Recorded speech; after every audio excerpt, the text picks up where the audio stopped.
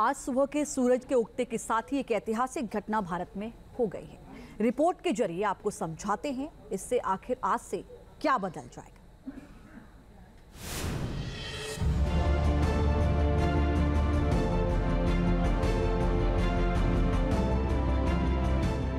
एक जुलाई से बदल जाएगी अपराध की कई दफ़ा, क्योंकि देश में तीन नए आपराधिक कानून लागू हो रहे हैं।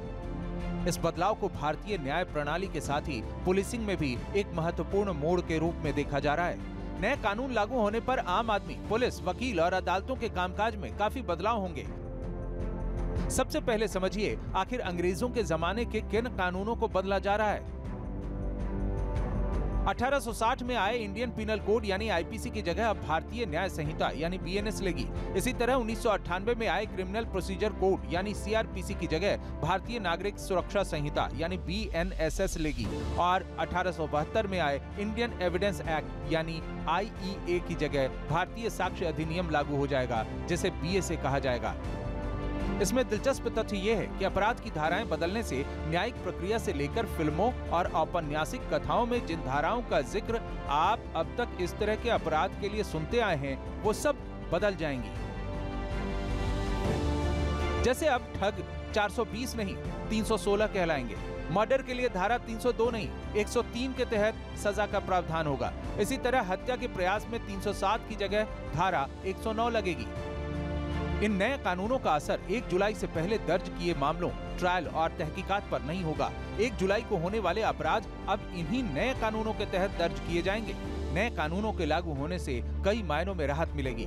खासकर महिलाओं और बच्चों के विरुद्ध होने वाले अपराध के लिए सजाएँ सख्त की गई हैं। वहीं मॉब लिंचिंग जैसे अपराधों के लिए प्रावधान जोड़े गए हैं। सबसे जनता को दिक्कत होती है एफआईआर दिखाना। अब एफआईआर कहीं भी आप गए, चेन्नई आप गए प्लेटफॉर्म पर आप लुट गए, लेकिन ट्रेन पकड़ने आप चले आए। कहाँ जाएँ एफ़ आई लिखाने? एक ही ज़िले में। जुडिक्शन इस थाने में जाओ चाणकपुरी जाओ, नहीं चले जाओ, वहाँ साकेत चले जाओ। लेकिन अब कहीं से उसको हम कहते हैं ज़ीरो एफ़ आई आर और ज़ीरो एफ़ आई आर कहीं से एफ़ आई आर आप लिखा सकते हैं। अब जो आया है, नया बी एन एस उसमें ऑर्गेनाइज क्राइम है। उसमें देशद्रोह है। उसमें मॉब लिंचिंग है। बड़े से बड़े केस का तीन महीने में उसको, तीन साल में, बड़े से बड़े केस, मर्डर टाइप केसेज में उसका डिस्पोजल हो जाएगा, न्याय मिल जाएगा। नए कानून में जमाने के साथ हुए बदलावों के दौर की झलक मिलती है, यानी ये ऐसे आधुनिक रूप में हैं, जिनके तहत अब कोई भी व्यक्ति पुलिस थाना गए बिना इलेक्ट्रॉनिक संचार माध्यमों से घटनाओं की रिपोर्ट दर्ज करा सकता है। इससे केस दर्ज करना आसान होगा, साथ ही ऑडियो, वीडियो यानी इलेक्ट्रॉनिक तरीके से जुटाए जाने वाले सबूतों को प्रमुखता दी गई है। इन सब के कारण मामला दर्ज कराना आसान और तेज हो जाएगा, साथ ही पुलिस की कार्रवाई भी तेज होगी।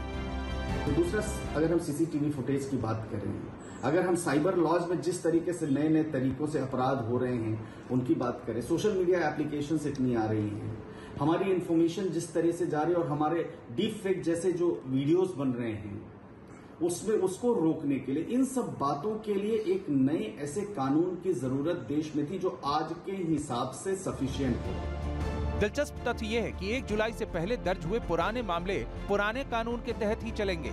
इसलिए पुलिस, वकील और जजों को दोनों नए और पुराने कानूनों को याद रखना होगा। साथ ही लॉ स्टूडेंट्स का काम भी बढ़ गया है उन्हें दोनों कानूनों को पढ़कर याद करना होगा तभी अदालत में वो अपना काम कर पाएँगे। हालाँकि नए कानून के लिए लाखों पुलिसकर्मियों को ट्रेनिंग दी गई है। न्यायिक magistrate email, SMS, WhatsApp messages के आधार पे भी मामले का संज्ञान ले सकते हैं कॉग्निजेंस ले सकते हैं और कार्रवाई प्रतिष्ठित कर सकते हैं। वर्तमान में भारत सरकार और प्रदेश सरकारों के द्वारा लगभग सात लाख पुलिस कर्मियों को प्रशिक्षित किया जा चुका है इन तीनों अधिनियमों में। सीसीटीएनएस की जो प्रक्रिया है उसमें भी वांछित सुधार उच्चीकरण और संशोधन किया जा रहा है। नए कानूनों के तहत एफआईआर के 90 दिनों के भीतर चार्जशीट दाखिल करना ज़रूरी होगा और इसके 60 दिनों के भीतर कोर्ट को आरोप तय करने होंगे।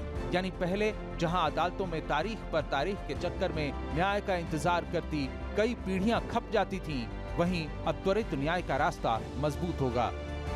आज सुबह के सूरज के उगते के साथ ही एक ऐतिहासिक घटना भारत में हो गई है।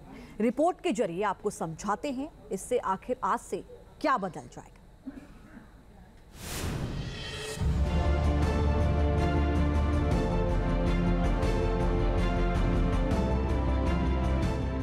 एक जुलाई से बदल जाएगी अपराध की कई दफ़ा।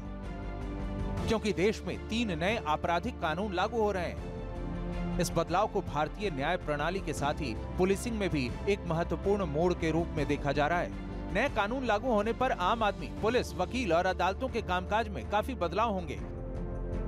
सबसे पहले समझिए, आखिर अंग्रेज़ों के जमाने के किन कानूनों को बदला जा रहा है? 1860 में आए इंडियन पिनल कोड, यानी आईपीसी की जगह अब भारतीय न्याय संहिता, यानी बीएनएस लेगी। इसी तरह उन्नीस सौ अठानबे में आए क्रिमिनल प्रोसीजर कोड, यानी सीआरपीसी की जगह भारतीय नागरिक सुरक्षा संहिता, यानी बीएनएसएस लेगी। और 1872 में आए इंडियन एविडेंस एक्ट, यानी आईईए की जगह भारतीय साक्ष्य अधिनियम लागू हो जाएगा, जिसे बीएसए कहा जाएगा। इसमें दिलचस्प तथ्य ये है कि अपराध की धाराएँ बदलने से न्यायिक प्रक्रिया से लेकर फ़िल्मों और औपन्यासिक कथाओं में जिन धाराओं का ज़िक्र आप अब तक इस तरह के अपराध के लिए सुनते आए हैं, वो सब बदल जाएँगी। जैसे अब ठग 420 नहीं 316 कहलाएँगे। मर्डर के लिए धारा 302 नहीं 103 के तहत सजा का प्रावधान होगा। इसी तरह हत्या के प्रयास में 307 की जगह धारा 109 लगेगी। इन नए कानूनों का असर 1 जुलाई से पहले दर्ज किए मामलों, ट्रायल और तहकीकात पर नहीं होगा। 1 जुलाई को होने वाले अपराध अब इन्हीं नए कानूनों के तहत दर्ज किए जाएँगे। नए कानूनों के लागू होने से कई मायनों में राहत मिलेगी। खासकर महिलाओं और बच्चों के विरुद्ध होने वाले अपराध के लिए सजाएँ सख्त की गई हैं। वहीं मॉब लिंचिंग जैसे अपराधों के लिए प्रावधान जोड़े गए हैं। सबसे जनता को दिक्कत होती है एफआईआर दिखाना। अब एफआईआर कहीं भी आप गए, चेन्नई आप गए प्लेटफॉर्म पर आप लुट गए, लेकिन ट्रेन पकड़ने आप चले आए। कहाँ जाएँ एफ़ लिखाने एक ही ज़िले में। जुडिक्शन इस थाने में जाओ चाणकपुरी जाओ, नहीं चले जाओ, वहाँ साकेत चले जाओ।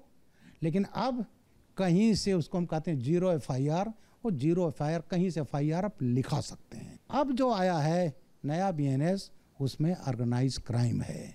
उसमें देशद्रोह है। उसमें मॉब लिंचिंग है। बड़े से बड़े केस का तीन महीने में, उसको तीन साल में। बड़े से बड़े केस, मर्डर टाइप केसेज में उसका डिस्पोजल हो जाएगा, न्याय मिल जाएगा। नए कानून में जमाने के साथ हुए बदलावों के दौर की झलक मिलती है। यानी ये ऐसे आधुनिक रूप में हैं, जिनके तहत अब कोई भी व्यक्ति पुलिस थाना गए बिना इलेक्ट्रॉनिक संचार माध्यमों से घटनाओं की रिपोर्ट दर्ज करा सकता है। इससे केस दर्ज करना आसान होगा, साथ ही ऑडियो, वीडियो यानी इलेक्ट्रॉनिक तरीके से जुटाए जाने वाले सबूतों को प्रमुखता दी गई है। इन सब के कारण मामला दर्ज कराना आसान और तेज हो जाएगा। साथ ही पुलिस की कार्रवाई भी तेज होगी। दूसरा, अगर हम सीसीटीवी फुटेज की बात करें, अगर हम साइबर लॉज में जिस तरीके से नए नए तरीकों से अपराध हो रहे हैं, उनकी बात करें, सोशल मीडिया एप्लीकेशन इतनी आ रही हैं। हमारी इंफॉर्मेशन जिस तरह से जा रही है और हमारे डीप फेक जैसे जो वीडियोस बन रहे हैं, उसमें उसको रोकने के लिए, इन सब बातों के लिए एक नए ऐसे कानून की ज़रूरत देश में थी जो आज के हिसाब से सफिशियंट हो। दिलचस्प तथ्य यह है कि 1 जुलाई से पहले दर्ज हुए पुराने मामले पुराने कानून के तहत ही चलेंगे।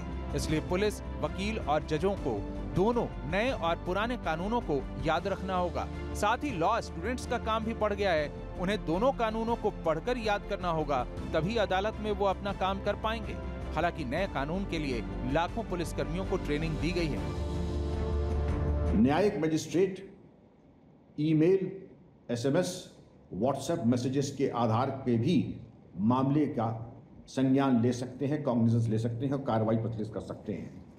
वर्तमान में भारत सरकार और प्रदेश सरकारों के द्वारा लगभग सात लाख पुलिस कर्मियों को प्रशिक्षित किया जा चुका है इन तीनों अधिनियमों में।